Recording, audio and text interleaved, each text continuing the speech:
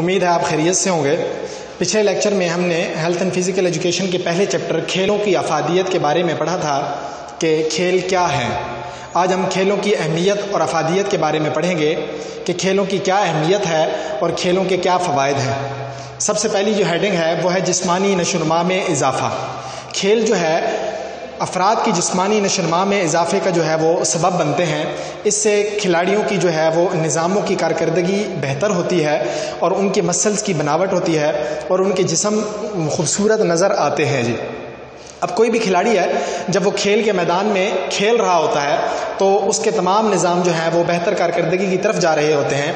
अगर वो दौड़ रहा है तो उसका निज़ाम दौरान खून क्या है जी, वो तेज़ी से काम कर रहा होता है। उससे उसके जिसम के अंदर जो ऑक्सीजन की मकदार है, वो भी तेज़ी से पहुँच रही होती है। इससे तमाम निज़ाम जो है, वो बेहतर कारकर्दगी का मुजाहरा कर रहे होते हैं। अब अगर हम ऑक्सीजन की मकदार की बात करें तो जब आप सांस लेते हैं तो ऑक्सीजन की जो मकदार है, वो इक्कीस आपके जिसम के अंदर जाती है।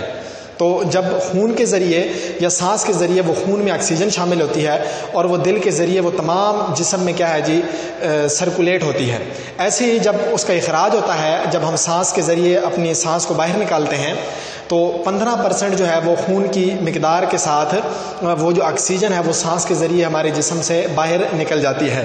तो ऑक्सीजन की ये मकदार हमारे पूरे जिसम में जब सर्कुलेट होती है तो ये हमारे जिसम की निज़ामों की कारकर्दगी को बेहतर बनाती है। तो खेलों के मैदान के अंदर जो ऑक्सीजन की मकदार है, वो क्या होती है जी? बढ़ जाती है, जिससे हमारे निज़ामों की कारकर्दगी बेहतर होती है और हमारे जिसमानी निज़ाम की, जिसमानी नशोनुमा में क्या होता है? इजाफ़ा होता है। दूसरा है जी, जहनी नशोनुमा में इजाफा। कोई भी खिलाड़ी जब खेल के अंदर हिस्सा लेता है तो उससे उसका जहन जो है वो चुस्त और होशियार होता है।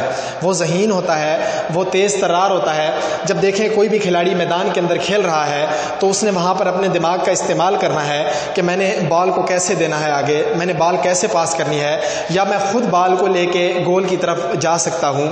तो जब उसका जहन वहाँ पर इस्तेमाल हो रहा होगा तो उसके जहन की वर्जिश हो रही होती है। इससे उसके अंदर जहनी नशोनमा में उसकी इजाफा हो रहा होता है। तीसरा नुकता है जी, फारग अवकात का सही इस्तेमाल। अब जैसा कि आपको मालूम है, आजकल का जो जदीद दौर है, वो सारा मशीनरी दौर है और इंसान का सारा दारो मदार मशीनों के ऊपर आ गया है। गर्ज सुबह से लेकर रात तक रोज़मर्रा ज़िंदगी के जो तमाम काम है, वो इंसान जो है, वो अपने मशीनों के ऊपर, मशीनों के ज़रिए कर रहा है। तो इंसान जो है, वो काफ़ी वक़्त जो है, उसका वो फारग और बेकार होता है। इस वक़्त को वो, इस वक़्त का जो है, वो सही इस्तेमाल वो खेलों के मैदान के अंदर कर सकता है। अगर वो खेलों की सरगर्मियों में हिस्सा लेता है तो उसका जो फारग वक़्त है वो सही गुजरेगा। उससे वो मुख्तलिफ़ किस्म की बीमारियों से दूर रहेगा।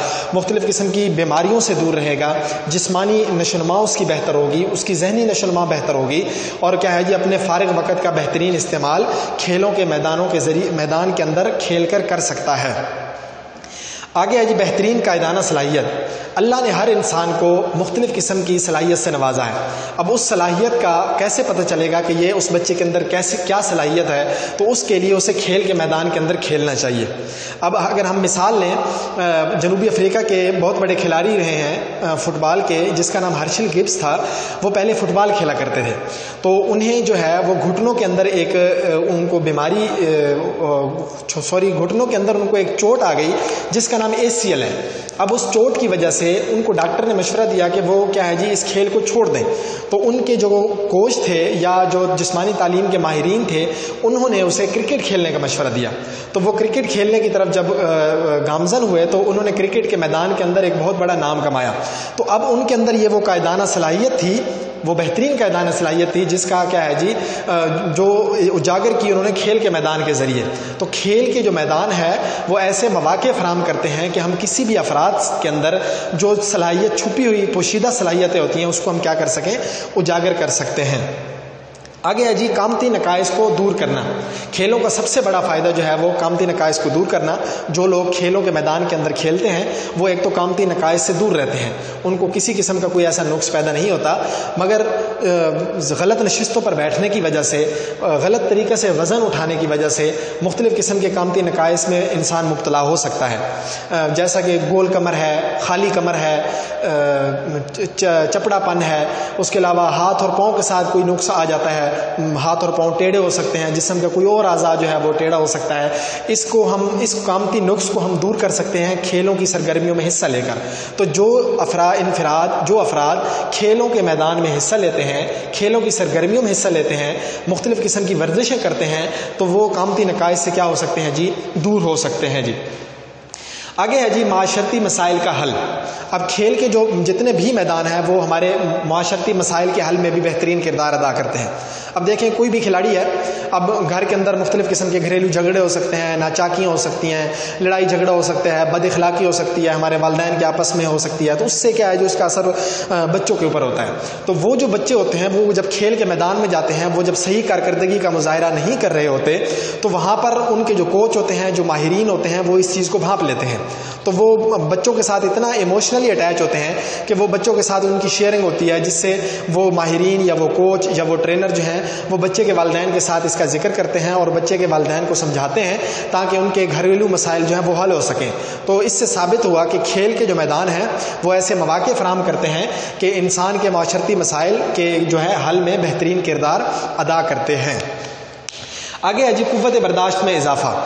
अब खेल का जो मैदान है वो उसके अंदर जब खिलाड़ी खेल रहा होता है, मुख्तलिफ़ किस्म की वर्जिशें कर रहा होता है तो वो जब वो खेल खेल के मैदान के अंदर खेलता है तो उससे कोई ना कोई फाउल सरजद होता है। तो वो उसको बर्दाश्त करता है और कोशिश करता है कि दोबारा उससे ऐसा कोई, ऐसी कोई गलती सरजद ना हो। लेकिन जो रेफरी होता है, वो क्या है जी, उस फाउल पर क्या है जिसे खेल के मैदान से बाहर कर देता है। उससे वो क्या है जी, अपने जज्बात को कंट्रोल रखता है और बर्दाश्त करता है इस चीज़ को, ताकि अगली दफ़ा जब वो मैदान में आए तो वो इस गलती से क्या है जी, दूर रहे। तो खेल के मैदान जो है, वो किसी भी खिलाड़ी को, की कुत बर्दाश्त में क्या करते हैं? जी, इजाफा करते हैं। आगे है जी, बीमारियों से बचाओ। खेल का जो मैदान है, वो मुख्तलिफ़ किस्म की बीमारियों से भी बचाव का एक बेहतरीन सबब बनता है। अब आप देखें कि जितने भी बड़े खिलाड़ी हैं, वो बड़ी बीमारियों से क्या है जी, दूर रहते हैं। ये जो मौसमी बीमारियाँ होती हैं, नज़ला, ज़ुकाम, बुखार, ये तो हर इंसान को होता है। मगर खिलाड़ियों के अंदर जो है, वो कुत मुदाफ़त इतनी बेहतरीन होती है कि बाहर से कोई भी बीमारी जो है, उनको मुतासर नहीं कर सकती।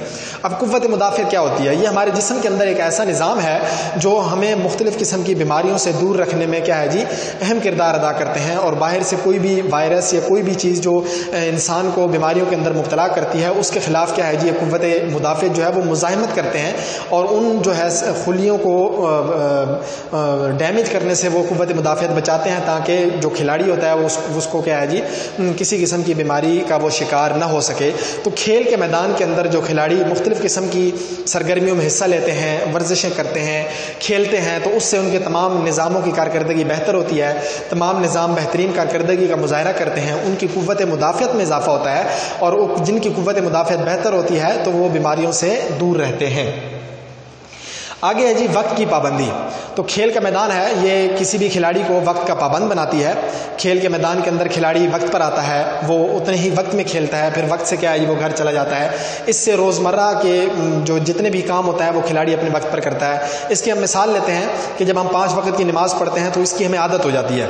तो जैसे ही हम फिर अजान सुनते हैं तो हमारे पाँव क्या है जी, मस्जिद की तरफ़ खींचे चले जाते हैं। ऐसे ही जो खिलाड़ी वक्त की पाबंदी के साथ खेल के मैदान में आता है तो उससे क्या है जो, उसकी आदत बन जाती जाती है तो वो अपने खेल के साथ क्या है जी, इतना मुनसिफ हो जाता है कि वो वक्त पर ही अपने खेल को सर अंजाम देता है। अब जो खिलाड़ी वक्त की पाबंदी नहीं करेगा तो वो खेल के मैदान में खेल भी नहीं सकता और बेहतरीन कारकर्दगी का मुजाहरा भी नहीं कर सकता। तो इससे साबित हुआ कि खेल के मैदान जो हैं, वो किसी भी इंसान इनफरादी शख्स को वक्त का पाबंद बनाती हैं। आगे है जी समाजी ताल्लुकात में इजाफा। अब खेल का मैदान जो है वो ऐसे मौाक़े खिलाड़ियों को फराम करते हैं, जिससे खिलाड़ी की जो है वो समाजी ताल्लुकात में इजाफा होता है। इसकी हम मिसाल लेते हैं, जैसे हर चार साल के बाद ओलंपिक गेम्स का ओलंपिक गेम्स होती हैं मुख्तलिफ़ ममालिक के अंदर, जो इस बार जो है वो टोक्यो के अंदर हुई है। तो इस टोक्यो के खेल के अंदर मुख्तलिफ़ ममालिक से जो है वो खिलाड़ी इकट्ठे होते हैं।